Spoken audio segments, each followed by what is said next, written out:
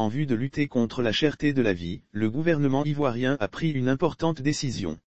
Une subvention de 120 milliards FCFA a été accordée par le gouvernement ivoirien sur la période de janvier à avril 2022, en vue de lutter contre la vie chère.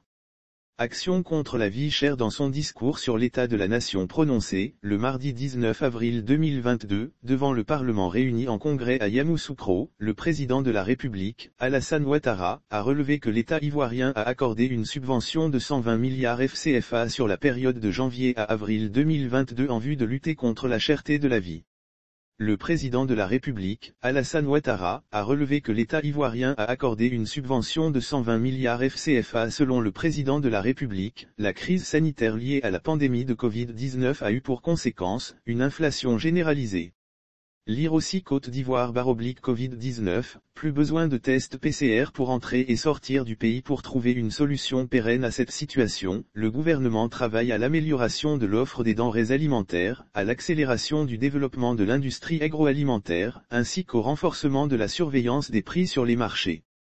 Plafonnement de prix des produits Le chef de l'État a rappelé que l'État ivoirien a pris une série de mesures dont le plafonnement sur une période de trois mois des prix de 21 produits de grande consommation.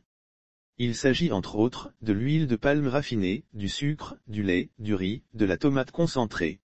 Le plafonnement sur une période de trois mois des prix de 21 produits de grande consommation tout comme d'importants efforts ont été consentis par le gouvernement pour assurer une subvention partielle des prix des produits pétroliers, en vue de préserver le pouvoir d'achat des couches les plus vulnérables.